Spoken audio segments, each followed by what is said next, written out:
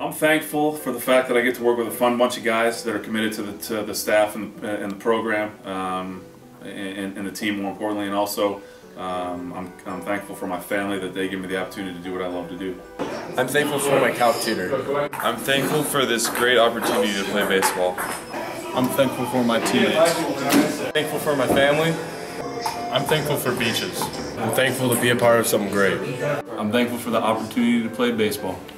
I'm thankful for my family. I'm thankful for my family and friends. I'm thankful for food.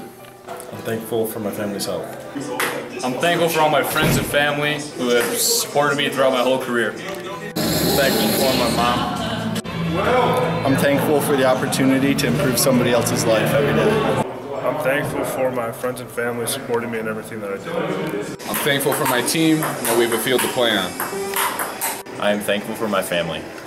I am thankful for my good health. I'm thankful for Taylor Swift. I'm thankful for a great coaching staff. I'm thankful for my family and friends. Uh, I'm thankful for my family and all the support they've given me. I am thankful for being alive. I'm thankful to learn something new every day.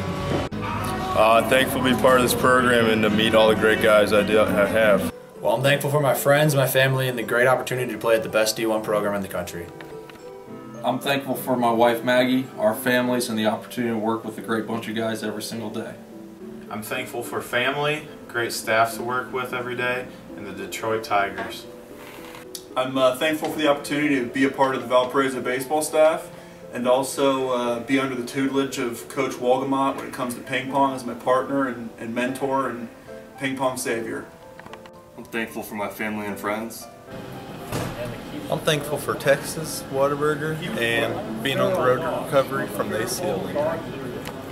I'm thankful for life and uh, being able to spend every day with my teammates here on campus. I am thankful for not puking and morning running the past few days. I'm thankful for my family. Well, as you can tell, we have a lot to be thankful here at Valpo Baseball. So, uh, on behalf of us, we'd like to wish you and your family a happy Thanksgiving.